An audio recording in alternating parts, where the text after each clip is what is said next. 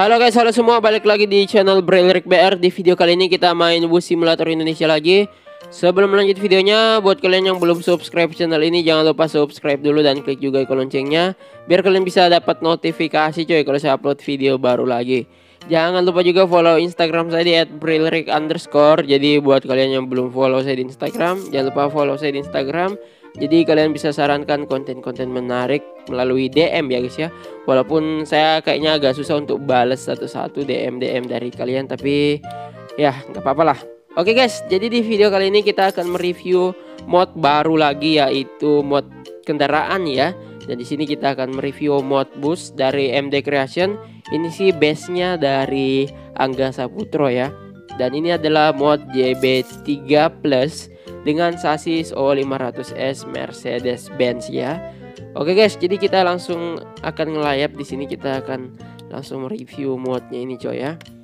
Biar kalian juga bisa langsung lihat apakah ini pantas buat kalian download atau tidak gitu guys ya. Tapi kayaknya sih modnya bakalan bagus guys ya. Oke. Di sini kita sudah ada di terminal kota Solo ya walaupun saya nggak tahu nama terminal kota Solo itu sebenarnya apa ya. Oke guys, ini dia kalau tampilan dari luar modnya sih kayak gini. Ini bagian lampunya kita bisa lihat guys ya. Ya ini juga bagian lampunya. Kita lihat bagian samping ya biasa aja sih ya. Sama aja kayak JB3 Plus pada umumnya. Di bagian belakang sini ada keypadnya guys. Oke. Nah kayak gini ya. Sekarang kita masuk ke dalam busnya. Dan di bagian belakang sini ada spoilernya ya. Ada spoilernya. Di busnya ini jadi kayak ala-ala racing gitu guys. Nah gimana nih menurut kalian tampilan luar dari modnya ini?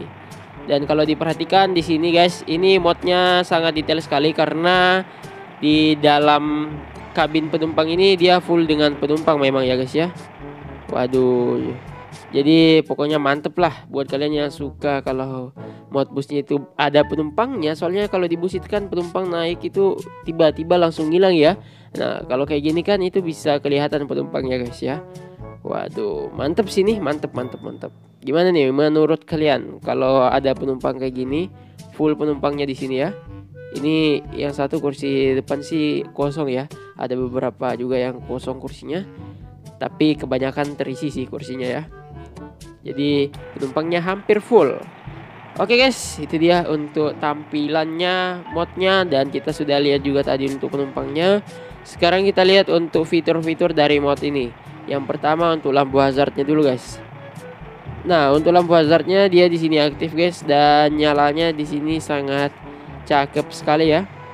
Kalian bisa lihat ya kiri kanan nyala, bagian sampingnya juga nyala guys.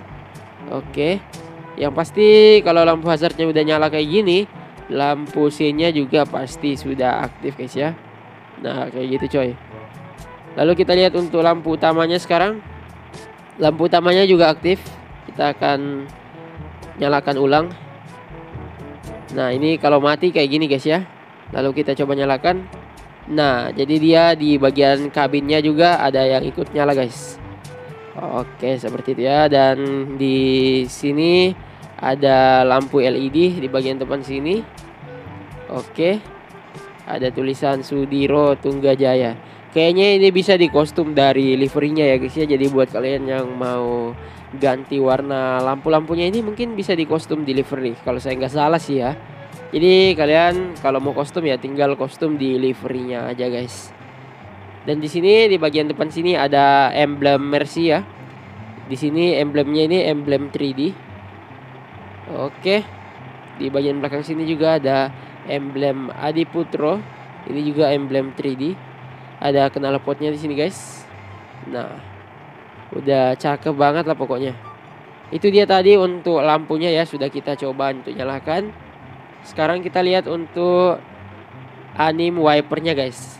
Untuk wipernya di sini dia aktif ya, atas bawah aktif guys. Jadi di sini ada empat wiper, dua di atas, dua di bawah dan semuanya itu aktif. Lalu untuk anim pintu untuk anim pintunya dia di sini normal. Jadi membuka pintu depan dan juga pintu belakang secara bersamaan pastinya ya.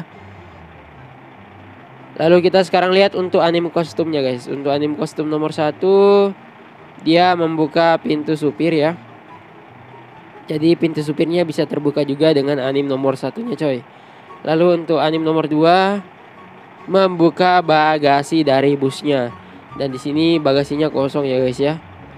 Waduh kosong nggak ada isinya coy. Ya kayak gini lah bagasinya kosong.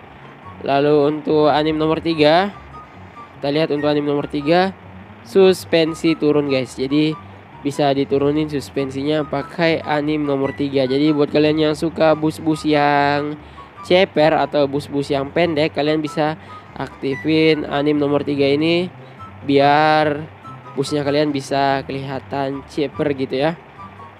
Oke kita lihat untuk bagian interiornya sekarang guys. Untuk kabin supir ya Nah, di kabin supir tampilannya kayak gini. Untuk indikatornya di sini indikatornya aktif ya guys ya. Kita coba gas. Nah, ya indikatornya sudah aktif.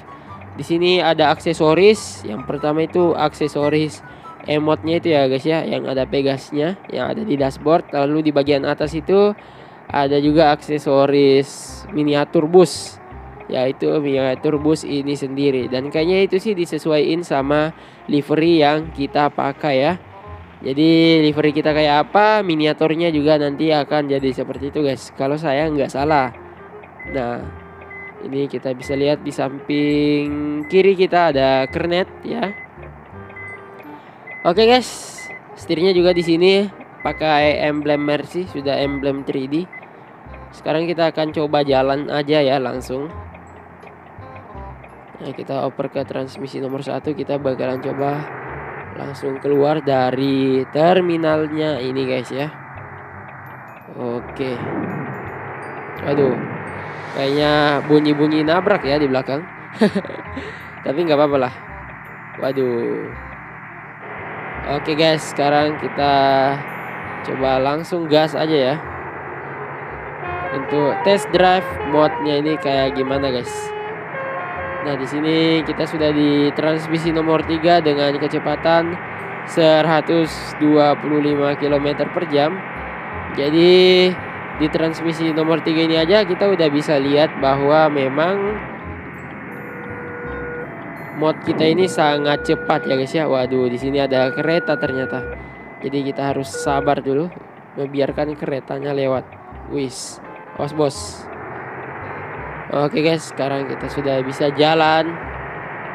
Jadi kita sudah lihat tadi masih di transmisi nomor 3 aja kecepatannya udah tembus di 128 ya, hampir tembus di 130. Jadi bisa kita lihat kalau modnya ini memang sangat kencang juga. Jadi buat kalian yang suka balap-balap pakai bus di busit, nah mod ini cocok banget buat kalian coy. Oke, jadi mungkin sampai di sini aja dulu guys untuk video kali ini. Kalau kalian suka videonya jangan lupa like video ini, komen buat kalian yang mau komen dan kasih pendapat kalian dan jangan lupa juga subscribe channel ini. Sampai jumpa di next video.